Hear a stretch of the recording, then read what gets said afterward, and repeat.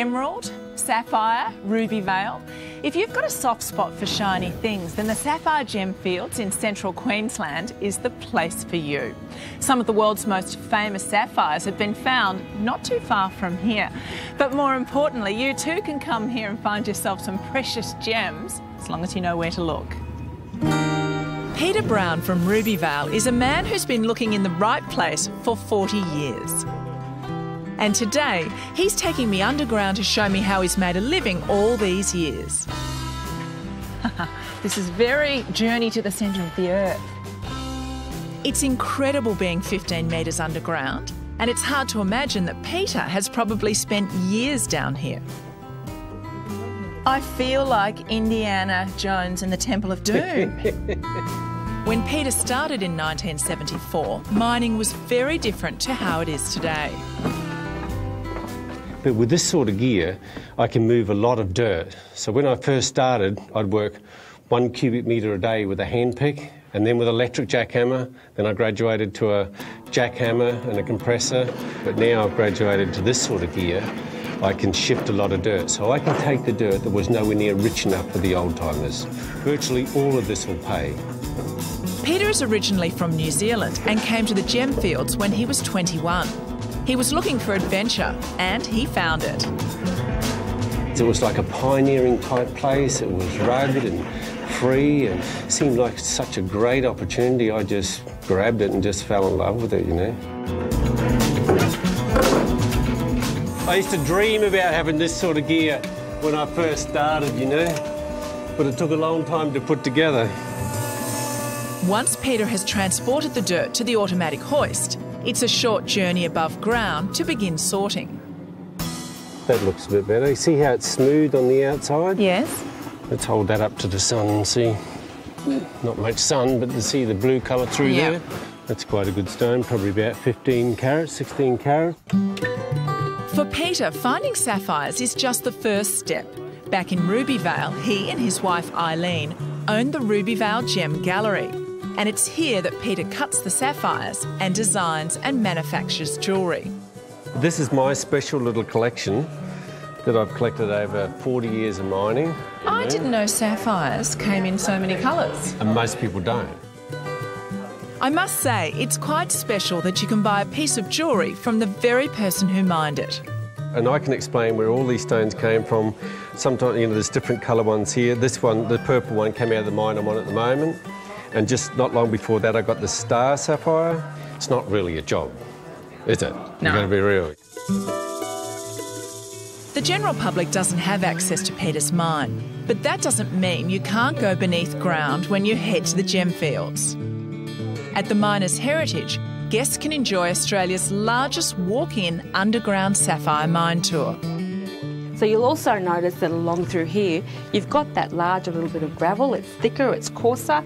It's what we're all looking for when we mine. Kerry Wilson is the owner, and she believes the tour offers guests a real insight into the region's mining past. And the mine tour takes in the original mine for the area. It has been made a little bit larger so it's more comfortable for everybody to have a, a good walk through.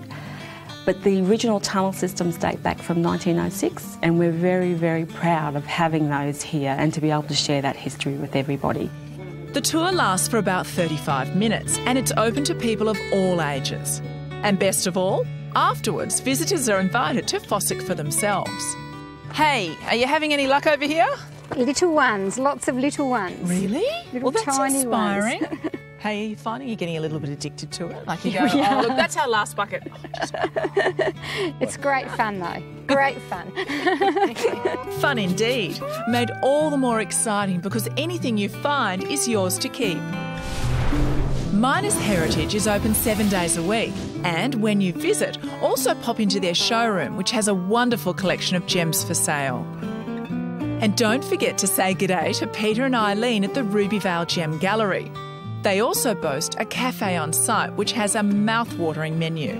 If you come to the Gemfields at the right time of year, you can have the privilege of enjoying Gemfest. It's a packed schedule of fun, food, entertainment, and most importantly, gems. So join me after the break because I have a feeling that there are still plenty of precious stones to discover.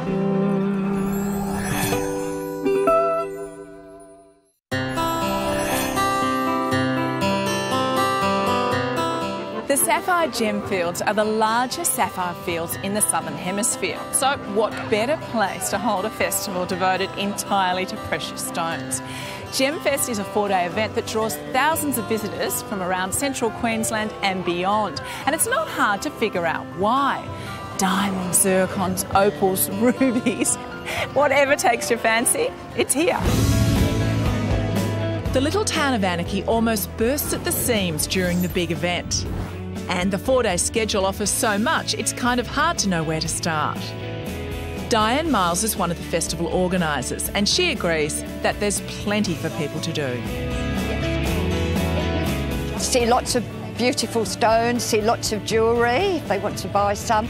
There's a lot of rocks here, but there are also stores for other people. There are homemade silk scarves, handbags, belts, and they can also get involved. There's a gemologist here that will value their jewellery for them. And the Lapidary Club have a big store here so they can see how stones are set and things like that. And there's just something for everybody. Or people just like to buy a burger and sit and listen to the entertainment all day. I've decided to start with the Jewels of the Outback exhibition. It's where the most valuable gems are found, like this $20,000 orange sapphire. The showroom is also where you'll find hard-working families like the Woodses, who mine and produce their own jewellery. So you're a mining family? Yes. Mum, dad and the kids?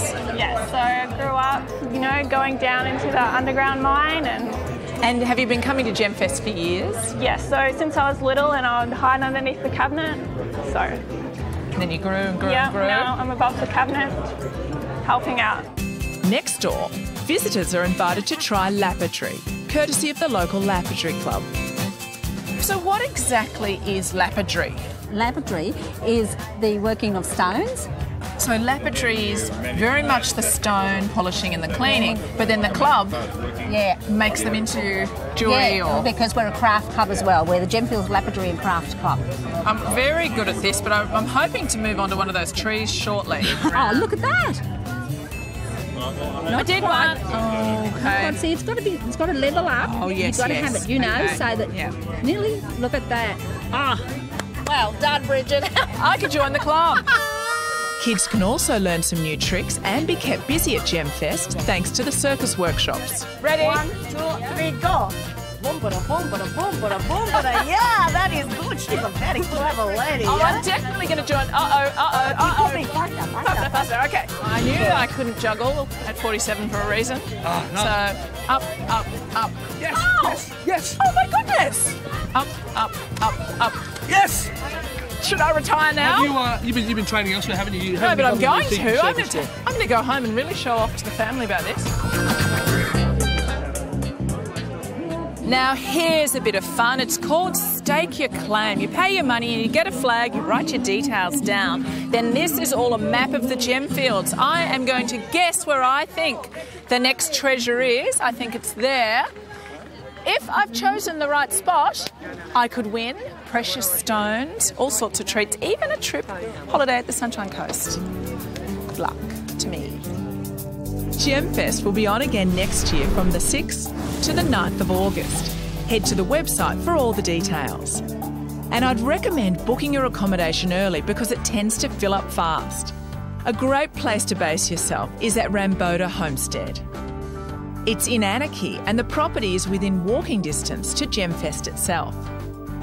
It has plenty of room, lovely gardens, and the homemade breakfasts are delicious. I had such a lovely stay and I would highly recommend it. Finally, if you're heading out to Gemfest next year or to central Queensland any time of the year, then why not go with Queensland Rail Travel? The Spirit of the Outback provides a relaxing journey to Anakie, and the train departs from Brisbane twice a week on Tuesdays and Saturdays.